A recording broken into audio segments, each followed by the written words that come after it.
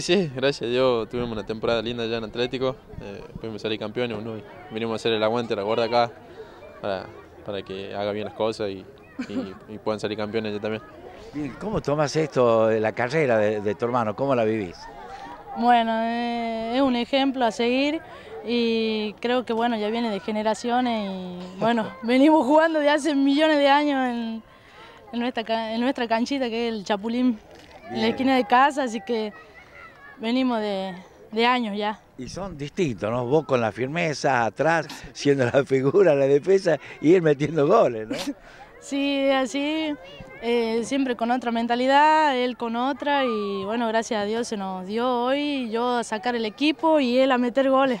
Sí. Matías, vos sabés que nosotros siempre decimos, che, qué bueno sería que un catamarqueño esté integrando la Superliga en un equipo grande como Atlético. ¿Tenés chances reales en este tiempo? ¿Qué, qué pudiste, qué conclusión sacás? Y bueno, por suerte pude hacer las cosas bien en la, en la liga, eh, me hablaron para reserva, eh, ahora en estos días me iban a hacer firmar el contrato y eso.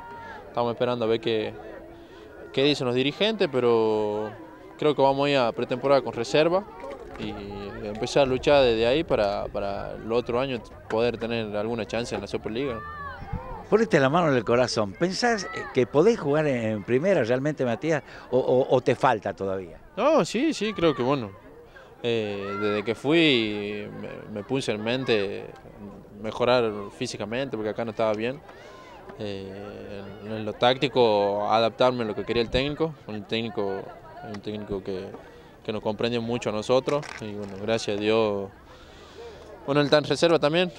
eh, me dio ese apoyo, me dijo que, que haga las cosas bien y vamos a, a trabajar y, y a tratar de hacer las cosas bien. Pero sí, yo creo que, que chance tengo. ¿no?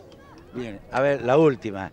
Decirle algo a tu hermano, desearle algo, después le pregunto a él sobre vos. Dale. Bien, él lo sabe todo, sabe que lo amo y sabe que es mi crack, mi, mi mayor orgullo y bueno, hasta la final no paramos. Hasta llegar, hasta llegar hasta donde queremos llegar, no paramos.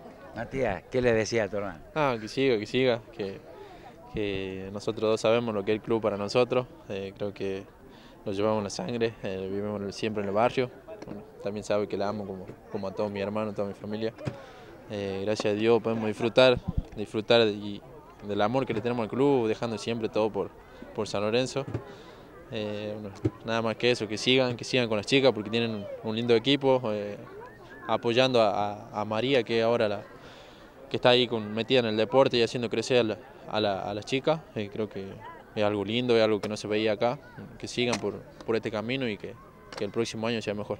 Sí, la verdad que un año extraordinario, como bien digo, eh, con esta primera experiencia del fútbol femenino acá en la Liga Capitalina, estamos con un balance súper positivo, nos estamos yendo muy contenta, aprovecho la oportunidad para felicitar a las campeonas y a los nueve equipos que participaron en, esta, en este primer año.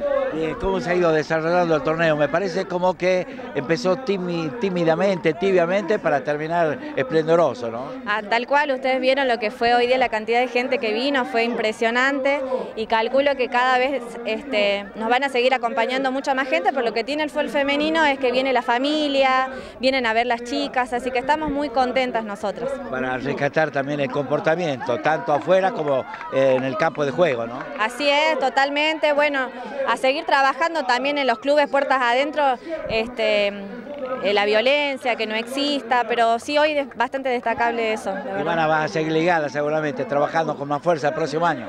Veremos, veremos, veremos cómo, cómo sigue el año que viene. Por ahora, este, yo personalmente me voy, este, cierro este año muy contenta, eh, hemos trabajado mucho, seguramente hay cosas para mejorar, eh, de tarea que nos llevaremos para la casa, pero como les decía, el balance es muy positivo que hacemos con Silvia, con Lucre, estamos muy felices.